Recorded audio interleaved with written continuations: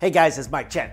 After the global nightmare that was World War II, the United States of America inevitably became a nuclear superpower when it destroyed a couple of cities in Japan using its newly developed atomic bombs. And because of that, it became clear to the rest of the world how technologically superior the Americans have been compared to any other powerful country when it comes to warfare. And regardless of whether they were affiliated with the Allies or the Axis, these nations grew very wary of the possibility that the US would be the next one to attempt to lord over everyone else, using its technological edge and making seriously devastating military weapons. So because of this and many other reasons, the USSR, once an ally of the US during the war, became a fierce and competitive rival after the global conflict was won. The relations between the two countries had gone cold and it became crucial for the Soviets to prove to the whole world that they were just as strong a force to be reckoned with and that others should also tremble at their might. This meant that the Soviet Union had to immediately catch up to the US, sparking sparking a nuclear arm race between the two countries. So for the next decade, the Soviets aggressively pursued nuclear research, determined to create nuclear weapons more powerful and destructive than anything the US had come up with. And so the USSR detonated its first nuclear bomb in 1949 and from then on,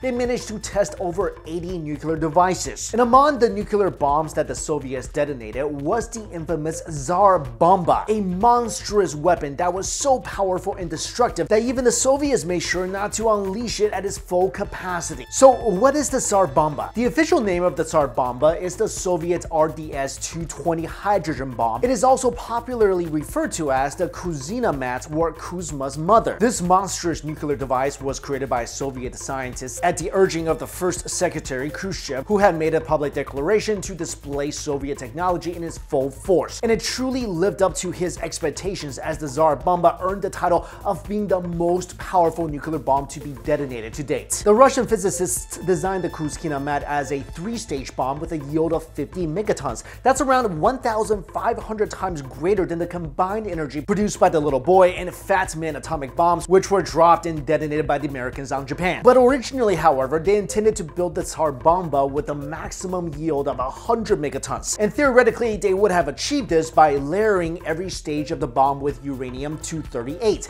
Had they chosen chosen to go in this direction, the bomb would have been around 3,000 times more massive than the two bombs that destroyed Hiroshima and Nagasaki. But scientists thought testing a nuclear device with this much power was far too dangerous, duh, and had the potential to cover the northern territory of the USSR with a nuclear fallout. Moreover, it would be difficult for a plane to carry and deliver a bomb of this size to its intended destination. And even if that was accomplished, it would be deemed a suicide mission as it would be highly unlikely that its carrier would have enough time to establish a safe distance distance before the bombs exploded. Hence, in order to limit the scope of the fallout it would cause, it is believed that the Tsar Bomba was layered with lead instead of uranium. Doing so would have significantly weakened the power of the nuclear reaction and would explain why the bomb yielded only half of its theoretical capacity. So the Soviet Union decided to put the RDS-220 hydrogen bomb to the test on the 30th of October in 1961. A Soviet Tu-95 bomber plane was selected to carry the colossal nuclear device from the airfield in Kola Peninsula all the way north to the target location in the archipelago of Novaya Zemlya, several miles away from the village of Severny. The massive bomb it carried had a diameter of 7 feet and weight heavier than 27 tons. In an effort to ensure the survival of the two bomber planes, it was decided that the Tsar Bomba would be deployed via a big parachute from the height of around 34,000 feet. And only when it reaches the height of 13,000 feet would the bomb be detonated, at which point the planes would already be 30 miles away. Now, while this is typically a safe distance, it was determined that the plane had nothing more than 50% chance of surviving the blast. So at 11.32 in the morning Moscow time, the Tsar Bomba detonated, forming a fireball that exploded up to 5 miles in a mushroom cloud that rose as high as 40 miles. The flash of the explosion was visible over 600 miles away, and while it must have been a jaw-dropping sight to see, the aftermath of setting off the nuclear bomb was utterly catastrophic. According to sensor data gathered from the blast, the blast wave of the Tsar Bomba was so intense that it orbited the Earth three times. Consequently, this knocked off radio communications for an hour or so.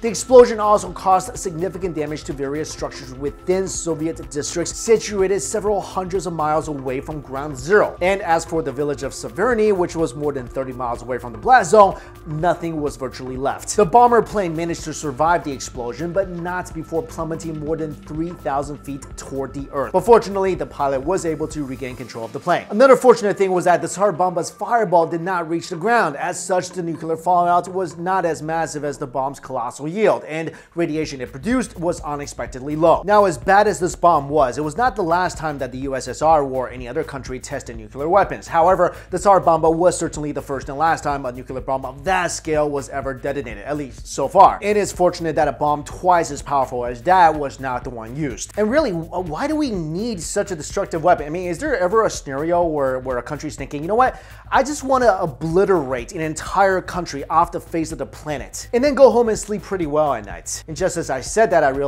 yeah, there are actually people crazy enough to use something like this or something stronger than this. So it is truly scary that a bomb as powerful as this does really exist. And right now, living in this crazy world, who knows? Am I the only one who has this impending sense of doom uh, about, about the whole world right now? Let me, let me know if you have the same feeling in the comments. Anyway, guys, thank you all so much for watching. I'll see you later.